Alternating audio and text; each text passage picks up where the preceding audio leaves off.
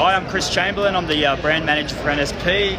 Uh, we're standing here with the 1710 Unlimited board that Travis Grant won the 2015 Molokai to Oahu. Uh, standing right beside me is the, the Shaper. It's DC 1710. This is DC. There you go. How was it on the boat? Yeah, awesome. It's, um, it's like a five hours of tuition of um, how to paddle Molokai. Um, it's probably one of the best things that I've ever done. Um, seeing Travis paddle and uh, the endurance he has, and never seen him as fit as what he was in this paddle, and uh, it was absolutely amazing. It was a really good time. You, you were telling me yesterday too about the uh, when he was, you know, you were on the boat. It was all the little things that, that he'd done, you know, from the the, the Yeah, spraying the water on him and um, his nutrition. You know, like I'm a Gatorade person, and he's got all these goos and taking all these different gels, and uh, yeah, he's uh, he's got it nailed. You know, he's a total athlete. It's amazing to see. So, what did the collaboration process? What was that like working with them to develop the shape, and how long did that take? Yeah, well, um, him and Alain worked on this a lot more than I did. Um, they um, they did two boards last year, and they came a little bit late, and uh, Travis ended up riding another board, Rebello. And um, this year the board's got here on time. He's ridden the board, loved the board. The, he was, at, he was was amazed with the situation and the way the board run, and um, it was really suited to the conditions this year, and um, it really stood out from the rest. You know, winning by 16 minutes is pretty awesome effort, I thought. It's cool. The cool thing for us too is that we're all from you know, the same place in Australia. Travis and Dale and Alain and myself, we all we all paddle around Currumbin, just a tiny little place. I mean, and it's a real hotbed of stand-up paddle talent. I think you know maybe last year or the year before was six of the top ten in the Battle of the Paddle were from one little place. And we're talking a really small population, but ultra competitive. So all of these boards, you know, kind of come from that the DNA, you know, from the rest of the range to this board as well. And so, you know, Alain works on the, the sort of the real.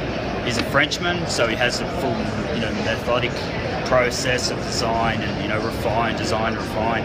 Dale's, you know, been a surfboard shaper for 25 years, was a pro surfer before that, so he knows how to swing a planer, you know, and. Uh, together we were kind of pretty stoked to be you know four guys from the Currumbin that have sort of uh, done something and made the whole world stand up and take notice you know so And the first production board to win Molokai. Which is, I think, is absolutely, absolutely yeah. amazing. Do you want to walk me through the board a little bit? Just uh, talk about the Yeah, shape. well, 1710 by 24 and a half inches wide. Um, the rock is progressive rocker going through, um, really designed to get up and over the waves. Um, got a bit of edge down through the tail, um, slightly sunken deck. Got our new rudder system that we've been playing around with, you know, which has worked out really well. Um, rails are really forgiving. But, you know, like 1710 by 24 and a half is always going to look like a bit of a gun. Um, and uh, yeah, it's been working out really well. But definitely got the roll bottom, the Travis's trait. You know, he's always looking to all the experience he's got with the OC1. He really wants to make sure he's got that round roll bottom, which is totally different than what everyone else is going for. No concaves. Yep. So, so the primary stability on something like that, it would it would roll more, but the secondary, I mean, it's not going to go. Yeah, It's- yeah, yeah. You, ro- you roll so much. Like you got to understand, this guy never fell off once in this whole race of five hours. And it was a hard slog, and it was really, really hot. And we're hosing down the water and stuff. And uh, yeah, um, to ride this for five hours is just, and then catch a couple of six to eight foot waves at the end. Like he, the picture that you see is not the biggest wave he caught. The biggest wave he caught was outside. That was halfway down the point, so you can just imagine how big that wave was. It was amazing. Wow. You can imagine too, we're in Australia, you know, trying to Dale's on the boat in Hawaii. We're in Australia and we can see that he's out in lead, you know, with the, the web coverage.